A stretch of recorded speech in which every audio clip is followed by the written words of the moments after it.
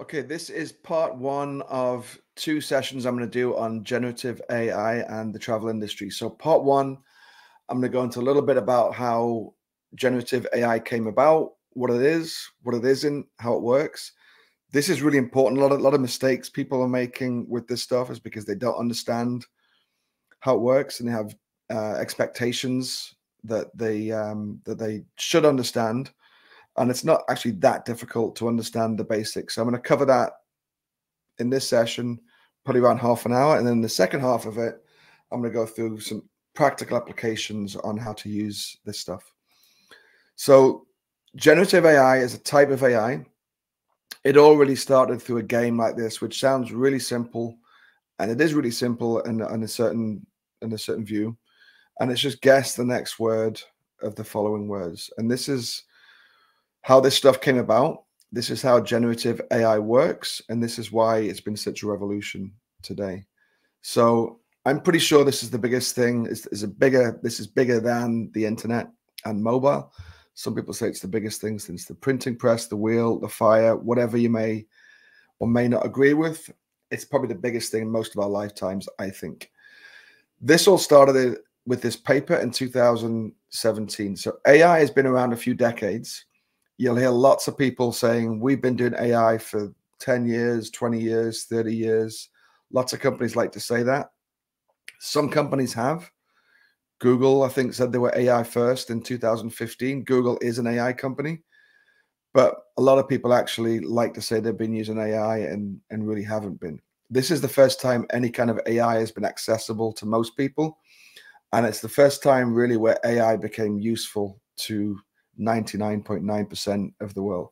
Previous to this point, it was good at building engines for research and powering Google, looking at big data, that kind of thing. But previous to this point, most AI just didn't work or was unusable. So when they made this paper in 2017 by a bunch of Google researchers, don't worry about the details of it.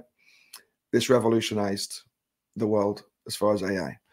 And this came out in with ChatGPT, which is owned by OpenAI, in November 22. And at the point it came out, nobody expected this except for a few people within OpenAI. But no one expected this to be as good as it was. No one expected this to create this revolution. Even the people that built this were shocked about how well this stuff worked. So it really was a step change. And it's the first time AI became accessible to most of us and became useful to most of us. So what does generative AI means? Basically, it means that the computer can now understand English language. When I say English language, I just mean language. It understands all languages.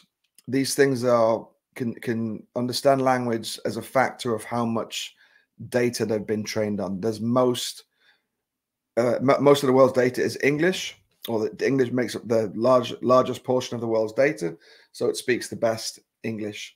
After that, I think it's probably Spanish, then French, then German, whatever it is. The hundredth most popular language in the world, it's not going to be anywhere near as good a quality. So it speaks our language. And if I say English in this session, I just mean language. Sometimes you might think, well, hang on a second, that what, what's such a big deal? We all speak English. It's not that hard. What's the what's the big deal? But now we have access to the world's computers, all this compute with hundreds and thousands of computers that can do all of this processing just by speaking to it. So previously, to use a computer, you have to program the computer. And to program a computer, you have to tell it exactly what you want it to do. And you need to have obviously skills in coding. And you're giving it a specific instruction on what to build and how to build it. Now we can have conversations back and forth, just like you would with another human, but you're having a conversation with a computer with all of this compute behind it and all this information behind it. So when you start thinking through, it does revolutionize the world.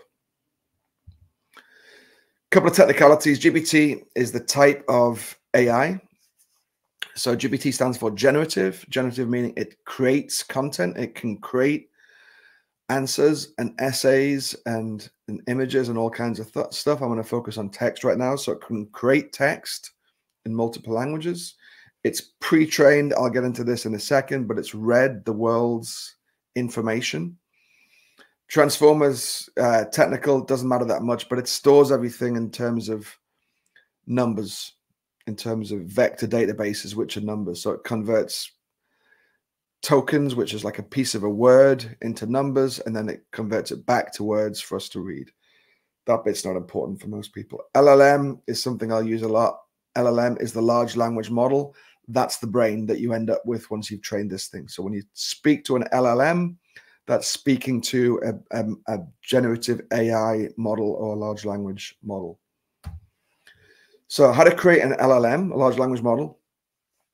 Um, you're not going to create one of these if you're watching this video. Most likely, the largest tech companies of the world are creating these brains. They're very expensive, takes a very long time. You need thousands or hundreds of thousands of computers or these chips. These chips are $30,000 each. I saw a report last week Meta or Facebook has $100 billion worth of these chips that for training their next model. So how to train these models. First of all, you gather the world's information. So the rumor has it that OpenAI or ChatGPT trained on 10 trillion words, which is most of the words that are out there. So it's read all of Wikipedia, most of the books in the world, most of the scientific papers, most websites. You end up with 10 trillion words. You then need this supercomputer which you train a little bit on what you expect it to do, but you need this super fancy computer, which is lots of chips all plugged together. And then you start training. So day one, you play this game with the computer. So Monday morning, you show up, say to the computer, okay, I'm going to feed you a word, and I want you to guess what the next word is. Computer says, fine. So day one, you say grizzly. What's the next word? Potato. No, that's actually not the word we're looking for. We're looking for the word bears. It says, okay, let me remember that. And you say, what's the next word? And it says sausages. And you say, no, we're looking for the word like. What's the next one? Pink. No, that we're looking for the word too. It gets all of these wrong for the first whatever, first few thousand or few hundred thousand guesses, just gets them all wrong. It's never seen these words in its life, but it remembers what the answer was. Turns out then after a few thousand of these and you give it six or seven words at a time over and over and over again, it starts to learn the patterns. So next time it sees the word grizzly, it thinks, well, I've seen this before. Let me try bears again. And it turns out that was correct this time. And it starts to learn what the next likely words based on the words before it and the words after it. And it turns out, and this is what no one actually knew was going to happen, if you do this for 10 trillion words and you remember all the answers, you could speak perfect English and that's all this stuff is. It remembers it, it it's, it's generating the next word, the next word, the next word based on the words before it, and that's how you can speak perfect English. And this was the amazing piece for most of these developers. They they they saw this happening a little bit with previous versions of, G, of GPT, which didn't really work and they were clunky and not very usable. And then they got to this point with GPT 3 where they trained on 10 trillion words and it spat out perfect English. So now you've got this, you've got this raw LLM. So now you can ask it all these things and it can give you answers back. The problem then is if you release this to the world, everyone just goes straight to how to break this thing. And everyone immediately tries to create a nuclear bomb. And it will, it'll give you detailed instructions on how to build a nuclear bomb and how to get hold of materials. And it'll, it can go through all of that if you want it to. So we don't want that also people ask it you know what are the 100 best things that hitler did? And it will give you the 100 things that hitler did. We don't want that either. We also want it to be able to speak in a certain format and and be kind of friendly and work in a certain tone. So they spend a few months with humans answering questions giving it these guardrails and making sure it responds in the way that we want it to respond. That's introducing bias. Absolutely. But from talking to people who've tried these, not talking to people, from listening to people who tried these things, these raw LLMs you can't release to the world. It will just spit out information that we don't want being out there in the world. So these guardrails are built so that they're usable for humans and sensible and productive for humans. So once they've done that, now trained it, which is called fine tuning also for a few months, then they release this to the world, and you end up with a with a thing like this which is the model, which is the LLM. So this this thing which now knows everything, but actually it remembers nothing. So each time you speak to this LLM, like ChatGPT, it's forgotten that you exist. A lot of people think, well, hang on a second, I've used ChatGPT and, and you, you're in a thread and it does remember the previous thread. It actually doesn't. Every time you hit enter, it's sending the summary of the thread above that as a new question. And that's quite important concept. So it's each time you interact, it's you're brand new to it. But there are hacks like sending the previous information. So it knows everything within reason and it remembers nothing. So you interact with these things like most people have done through this prompt or this chatbot, which is how this stuff was introduced. So you ask it a question, it responds, ask it a follow up, it responds with more. They're getting quite ni- quite nice now at responding with certain formats and that kind of thing. But this is how you talk to the LLM, and this is free for anyone to use. This is ChatGPT. So the largest tech companies in the world are building these, except for Apple. We don't quite know what Apple are doing right now. Um, the most famous of these is OpenAI's ChatGPT. And OpenAI are in partnership now with Microsoft. Microsoft's version of this is called Copilot. So OpenAI slash Microsoft generally seen as the leaders in, and definitely have been up to this point in generative AI. But now there are three other models which are getting very similar as far as quality. One of them is Google Gemini. It seems that when ChatGPT came out, Google were taken a bit by surprise by it. They've had to work really quickly in the last 15 months to catch up, and looks like maybe they've mostly caught up. Probably not quite, but they're getting there.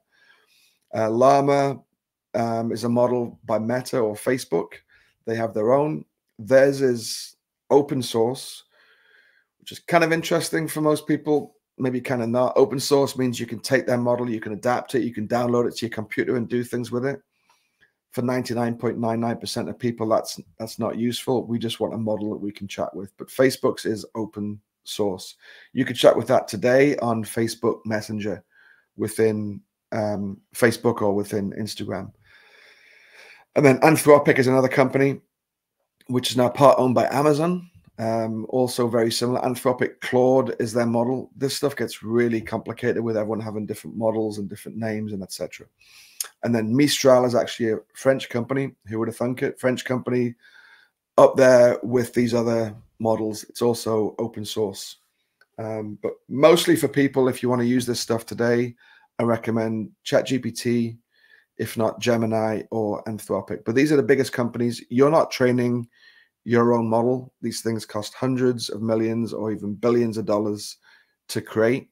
So you're going to use a third party software, which is generally going to be one of these companies. So what's it good at and what's it not good at? I actually think what, what it's not good at is more important to understand. Hallucinations, I think everyone's heard now. And this is when it makes something up. And the problem with the hallucinations with these models is it speaks very confidently. So you can't tell when it's completely made something up. It's definitely getting better over time but they're still there. So you can never 100% trust what these models are spitting out, which sounds like a terrible thing, and it kind of is. But once you learn why and when it hallucinates, it's actually much easier to deal with. So if you're asking it for the top 100 things to do in San Francisco, it'll give you a list of 100 things to do. It'll be perfect. Not perfect for everyone, but it'll be a really good list. If you ask it for 100 things to do in some town 200 miles east of here in the desert, it will create 100 things. But there's actually only four things to do in that town. It's going to make up 96. And the problem is, you can't differentiate when it's made them up versus when it hasn't. And that the reason it does that is because it's always always the best probability of the next word. So when you go into San Francisco, it's got really good choices. It's 96% sure that the next best word is this, and it's going to say Golden Gate Bridge and Palace of Fine Arts, and it speak it's it knows with confidence. When you go to this town in the middle of nowhere here, it's choosing really low percentage words, but it's the five percent most likely next best word is better than the four percent one. So let's choose the five percent. Still probably going to be wrong, but it doesn't know it's wrong. It's just guessing the next word. Kind of weird, but that's the way it is, and that's why these things hallucinate. Although it's actually much much better than it was a year ago and if you know when to look for it, it's not generally a problem. the other thing is these are not really fact engines. So they also haven't got current information, even though there are now hacks and it can browse to find information. But like I said before, these train on, say, 10 trillion words and then they stop. So they give it all this data, they then fine tune it, and then they release it. So it's only got information on the training information, only got data from that training cutoff date, which is why they don't have access to yesterday's football results. Sounds like a problem, but it's actually not. The, the power in these things is that they understand language. It's not a fact database. If you want to know the football results, there are websites for that. If you want the latest news, there are websites for that. The, the fact that they speak English and you can converse with them in your language is the most important thing that's also changing because they're doing hacks now where if they haven't got the answer, they can go and browse and find the answer and that kind of thing. The third thing they're not good at, which is weird also, is numbers. Calculators have been brilliant for the last 50 whatever years, 70 years. Everyone assumes that computers can just do numbers, and they can, but large language models are not as good at numbers. And they're pretty actually simple. Like I said before, they're trained on human language, they're trained on words not numbers. So when you ask it for two plus two, that's fine. It's seen that in words a million times, no problem. When you ask it for 474 times 6.94, it's got very little chance. Actually, they can do that now because they've given it kind of extra training. But initially, it wasn't able to do those numbers. So these aren't going to replace your calculator, your spreadsheet. If you're doing complex financial sheets on, on Excel, generative AI is not the place to go and to go and apply that to right now. Spreadsheets are fantastic at doing that. This is for English language or for language. So what they're good at is they speak perfect English or perfect language. So they never make grammatical mistakes. It also understands perfect language. It will never come back. If you speak proper language to it, it will never come back and say, I don't understand. Might give you the wrong answer, but it, it will always understand what you mean.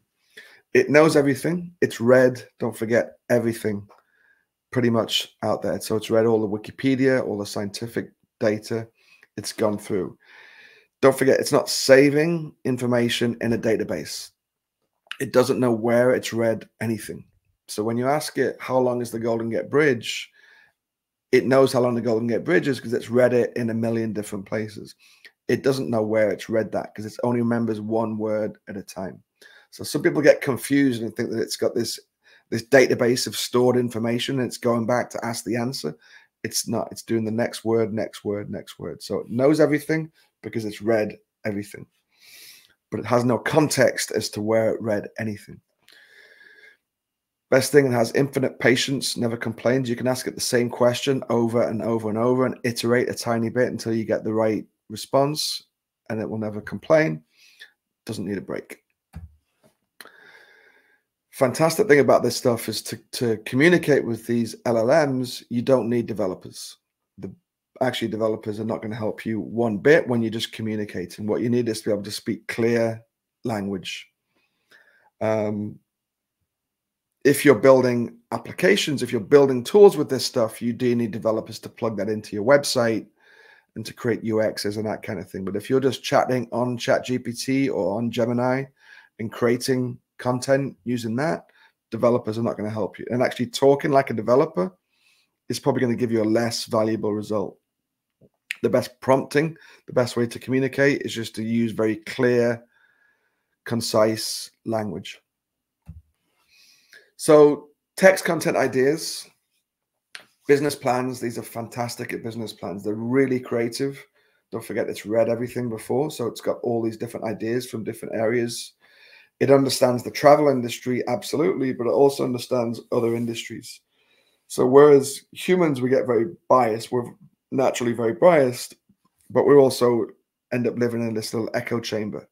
Sometimes there's great ideas from other industries that we don't actually apply that we should. And this stuff can because it's not got our bias, it's not looking at one particular niche. It's really good at writing things like blogs and articles. At Magpie, we use it for product descriptions. I'll, I'll go through that in a second. You can plug in a, a 20 page PDF and ask it to summarize it in 10 words or one page or whatever you want. Chatbot's really good application. You can have now conversations back and forth, put a chatbot on your website. Everyone's going to have AI chatbots on the website. Create email responses and review responses. Email response is now part of Gmail. There's, there's tools to do that. I think we all need to be really careful when we're when we're communicating with other humans that they understand. If we if you're using AI for that, which I don't think you should right now, but if you are, I think you need to be really careful that people understand that it was generated by AI. Same with the chatbot. Don't put a chatbot on your website and pretend it's a human if it's not. It's definitely the way to upset people. At Magpie, we do review response, so we generate a good response to a review. But I always tell people make sure you read it every time before you send it. So product description is one of the first tools we built at Magpie. We take an awful product description, badly written, not a lot of time spent on it, and we create a really good description which is built to convert. This takes a bit more work because we're we're formatting that in different areas for OTAs, that kind of thing. But it's all using GPT behind the scenes to take an awful description and create a great one this was one of my sort of aha moments. Um, for those that don't know me, I spent most of my life in San Francisco running the Hop on a Path um, sightseeing tours. So I understand as well as anybody on the planet. There's probably two of us that understand as well as anybody on the planet how to run Hop on a Path in San Francisco. And very early using ChatGPT, I asked that these five prompts. So I like to tell people, and I'll go more into this in, in part two, where I'll go into some practical applications. But when you're prompting these things, if you're making things like plans, which is really good at, I like to start very broad because you brought that bias with you.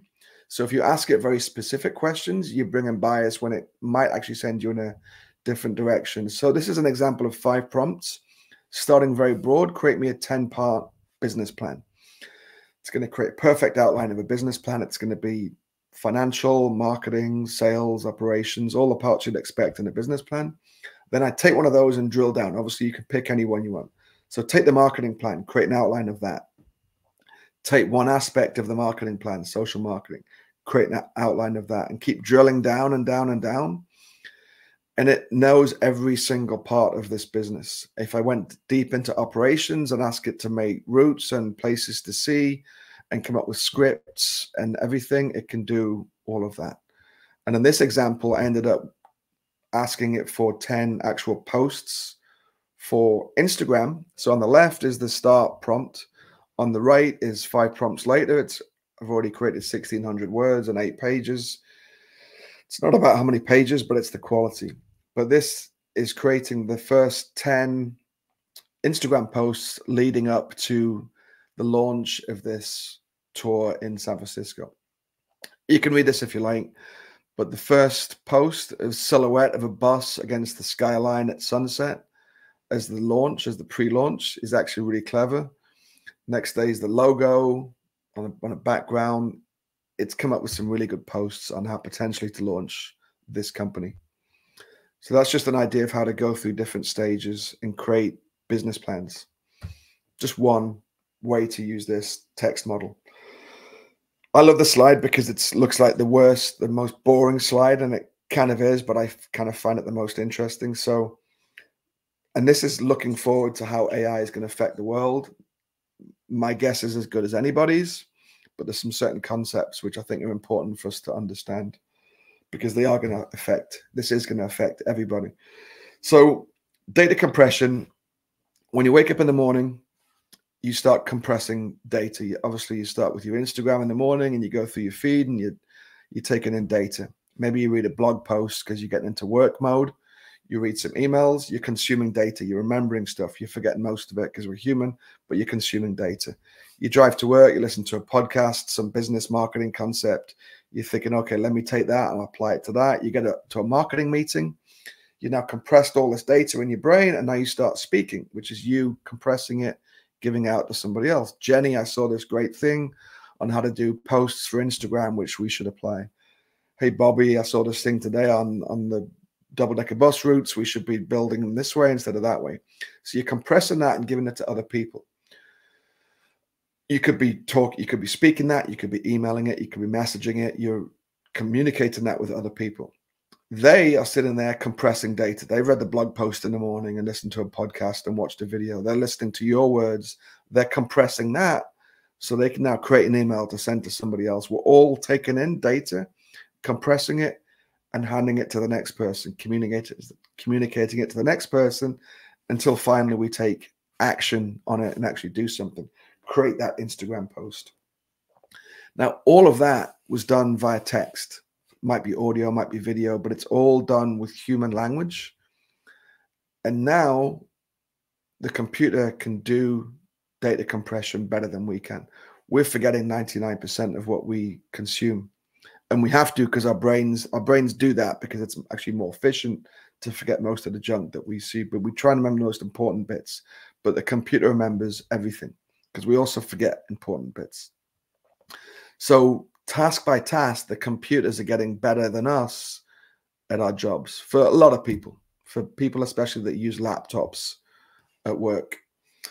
So the other part of all this AI, these other models do multimodal. So now I can create an image using a text. So I can say, create an image of a bus going over the Golden Gate Bridge. It's going to come out with three images. This was awful a year ago. It's generally really good now. It's definitely not perfect, but you can create really good realistic images today on a few different models. You can also input an image and ask it to describe that image. Text to audio has been happening for a while. Type in some text, create a voice from that text. The voices today are as good as a human. I say as good as a human. You can't tell the difference between a computer generated voice and a human most of the time. And then audio to text, you've seen this for quite a while. These are the bots that show up on your Zoom calls. They're recording the audio and they're creating a transcript. So now I think most people know you can bring an audio, you can bring this bot to your Zoom, create a transcript afterwards. You can have it summarize the call and just highlight the most important parts of that meeting. Text to video is new. It's generally been terrible up to now. OpenAI launched, they didn't launch. OpenAI did a demo of Sora a few weeks ago which was amazing. They're creating one minute long videos now, which are realistic. You can't tell they're not real just from a text prompt. That's not out yet. When it when it's out, we could talk more about it. Video to text, same thing. I can input a video and have the model describe that as text. This is just some imagery. The one on the right is as good as any image that I've seen on the internet for a bus tour in London. It's definitely not perfect. The text on the side of the bus is bad. These things are really bad at putting text on images. Um, I think there's also no driver, but most people are never going to notice. One on the left's a bit of a joke. But this, these are the kind of things that happen today. So you definitely can't auto produce imagery today. It's not good enough yet. This is um, image to text. This is me just messing around when this came out, I think in September. So I just scribbled out an outline of a web page and I made it deliberately complicated and moved things around with arrows and cross things out. And my handwriting is definitely not very legible, but for the computer, it's fine. And it generated HTML code and made a website out of that mess on the left. That's the prompt I gave it. Took me two minutes. It produced this in in um, a few seconds couple of bridges. 99.9% of humans would have no clue the difference between these two. This model knows it. One's in Newcastle in UK, which is where I'm from. The other one's in Sydney, Australia. It recognizes the difference between them. So this is a new product which came out from, and this is all getting to a place, I promise. This is a Facebook Ray-Bans or Meta Ray-Bans, which you can buy today for $300 and you can wear these and they have a camera on the front they have a microphone on the side and they have audio on the side as well. And they have they are connected to the internet so they have connection to the meta large language model the meta ai so now potentially you're walking along recording the world as you see it listening to the world as you see it and you're speaking to the large language model. So potentially this is recording, and this is a little bit like a Black Mirror episode now. It's recording your life. They're not meant for that. This is not how they're selling this stuff. Well, maybe that's what it is meant for. But it's potentially recording your life. So potentially, hypothetically, you could turn this on all day, get home at night, and ask the LLM to summarize your day. Or maybe, hey, remember that conversation? What was that website that person mentioned? Or what was that task that somebody asked me to do that I forgot about? Or what did my wife ask me to pick up at the shop? Some basic things which are going to be quite obvious, good examples of how these things can be applied. But let me go back to data compression because I talked earlier about compressing data and viewing data and going into our heads and compressing it. Now, potentially with these sunglasses on, if you wore those all day, which is weird but possible, everything you consume, whether you read it, whether you watch it, whether you listen to it, is going into this engine. So this becomes a human walking around, only it remembers everything and it can process everything and it can make decisions on everything. Not quite yet, but this is definitely where this stuff is going, which gets pretty scary. Agents, I talk about a lot, and I have done for I don't know how long now, but this is definitely where we're going as well. So, agents, so it's fine. I can talk to these LLMs and have conversations all day, but right now it doesn't remember anything about me. Like I said at the start, every time I converse with these things, it's forgotten who I am. But we're going to end up in this place, and we already are somewhat, where these agents are starting to know what we want. So I would program an agent for my objectives at work. So my objective is to get the most followers on Instagram for my bus tour. And I want to sell as many bus tickets as possible in San Francisco. Whatever I'm trying to do, it's going to learn my objectives. And I need to create a report every month with these things, and we'll we'll we'll give it a list of things that we're trying to achieve. Then I'm going to go out to the world using that agent and try and find that information, trying to achieve, trying to achieve those objectives. And maybe I'm trying to sell my bus tour to somebody at Expedia. So I, it's going to work it out. It's going to find somebody Expedia and it's going to send someone Expedia and say, listen, here's, here's some bus tours. Do you want to sell my bus tours? But obviously, you're not going to talk to the person at Expedia. You're going to talk to the Expedia agent. So what would normally we go back and forth via email and understand what we're offering, what they are offering, and we have these conversations, which is what we do all day long via email. Our agents know all of our objectives. They're able to talk to the other person's agents. A conversation that might take us 20 or 30 emails to go backwards and forwards, these things can now do in four seconds. And it's just going to come with the result. And at the end, it's going to, at the end, it's going to say, Great, we just got a new contract with Expedia. Or I just created 150 Instagram posts for the next two months. And I've programmed them all, scheduled them all. It's all done. So potentially each person has their own agent. So, like I said before, with this compression, now we're consuming this data. Our agent understands that data. Our agent is able to talk to the other person's agent task by task. These AI models are going to take over and enable us to do other things which the AI can't. So who knows where this stuff's going to go, but it's going to go in that direction. I'm pretty sure we're all going to have agents, and our agents will be talking to other agents. Definitely a lot of tasks are going to disappear.